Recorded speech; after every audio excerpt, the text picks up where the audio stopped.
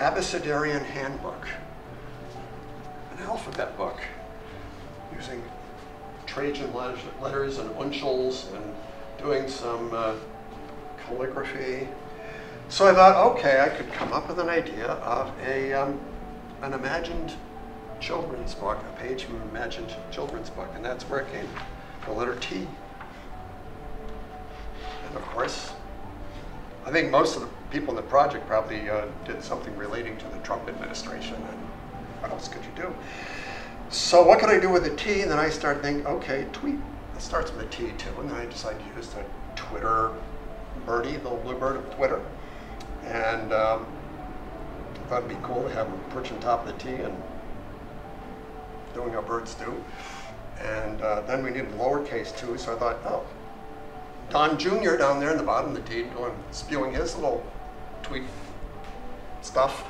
and of course, just to emphasize that that's what that was meant to be. It had a little flies buzzing around. So that's that's where it came from. Two plates, two linoleum plates. And the first one was, of course, just the first I cut out the uh, the blacks. This is a proof without the gold there. Um, so first I cut out the black area and then I transferred that to another plate so I'd know where to put the birds later. Then I went back to the black plate.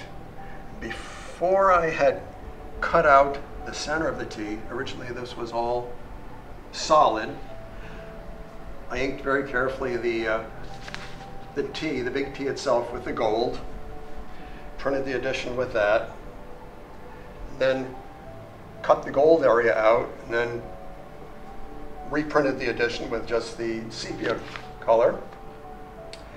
And then to do the blue of the birds, I cut a separate plate, another piece just as big as that with everything cut away except for the little birdies, and just inked them very carefully and printed them, and then that's it.